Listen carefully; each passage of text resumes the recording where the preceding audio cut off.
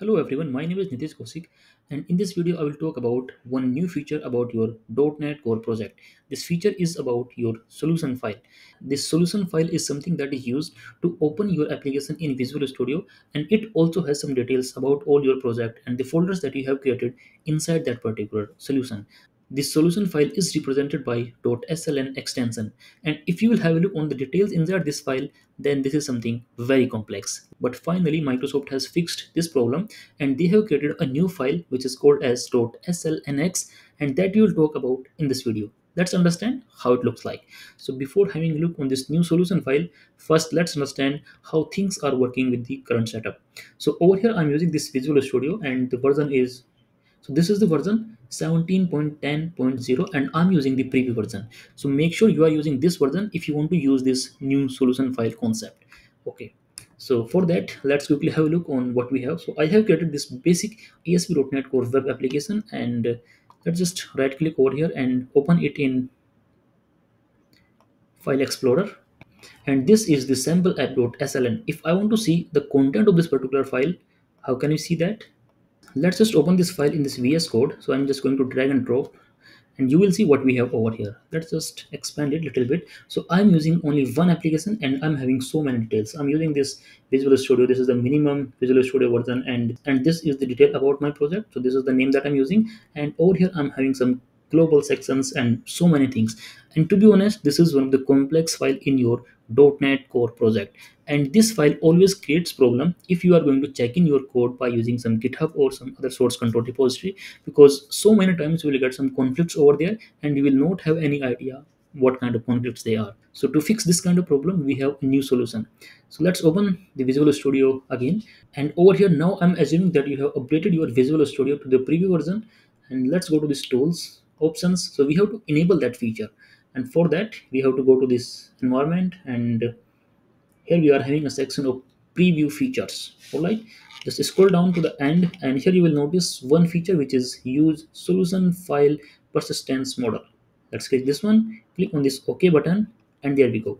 Now this new feature has been enabled in this visual studio. And now we need to create that new solution file. How can we create that? So for that we have to go over here in this file and click on this save this sample app solution the current one as. And uh, here we have to choose one drop down. If you are not getting it that make sure that after enabling that concept just restart your visual studio and you will get this solution. So we are having this one and this is the name of my new solution file. Remember the extension this time is slnx and that's it. Let's click on the save button. It has been saved although we are not using that currently in this visual studio because we are using the previous solution file. But if i open my code in this folder explorer then you will see we are having this dot slnx new file. And let's just open it in this vs code editor as well. So how can i do that? Simply drag and drop over here. And this time you will notice that this is extremely simple. We are having only this solution over here and this is the project that i'm going to use in this particular application Earlier, the CS file also used to be very complex, but it was fixed with the .NET Core release. Now, finally, Microsoft has fixed this solution file as well. Now, I want to add one more project over here, and for that, let's just right-click, go to this Add and New Project, and this time let's use any sample application, maybe this console application. Next, and let's use the default name. Next, next, and just create it after making all these changes, if I would like to open my project by using this new solution file, then let's understand how it looks like. So over here, if I will just double click on this file, then let's see what will happen. Basically, it will ask me to open the default theme. So I'm using this Microsoft Visual Studio version selector. And here you can see that we are having both the projects loaded by using this new file. Now let's understand how things will look like if we are using some complex application because as of now I was using only two basic applications. To understand this concept with some complex applications, I have downloaded two from github. So these are two open source applications and one is this nopCommerce and another one is this one. So let's just open this nopCommerce and here we are. And if i will just open the solution file let's go to this src and at this place you will see that we are having this nopCommerce.sln and let's just open this vs code editor and see how this file will look like over here. And you can see we are having so many projects over here and this file looks like little complex and let's just open this one now in visual studio. And this time in this solution you can notice that we are having some folders as well. And this is how the proper structure looks like. All the libraries are placed inside this folder. Then we are having the plugins. There are so many plugins. And then we are having the presentations. And then we are having this test application. Now i would like to see how it will look like if i'm using this new solution file. And to generate this new solution file make sure you have selected this solution over here. Now go to this file and click on this save this solution edge. And again here we are having this option. Let's use this slnx concept. There we go.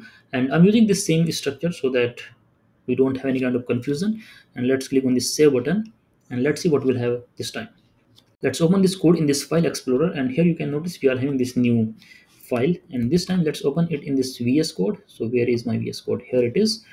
And let's open this new file as well over here all right here you can notice few things. So here we are having this solution then we are having these configurations and all the folders that you have created in your solution are visible clearly over here that this is the test and inside test we are having this project inside the presentations we are having these two projects. Inside the plugins we are having these n number of projects over here. Nothing extra thing is written over here.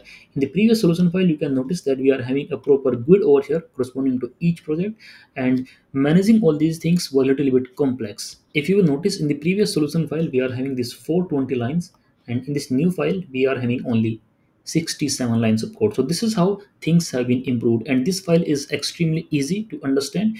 You can have a look on this file and you can understand how things are working over here. And it has all the details. This was all about this new feature and remember this feature is under preview now. So make sure you use it with the latest version of visual studio. And if you are having any feedback comments or suggestions then feel free to write everything in the comment section below.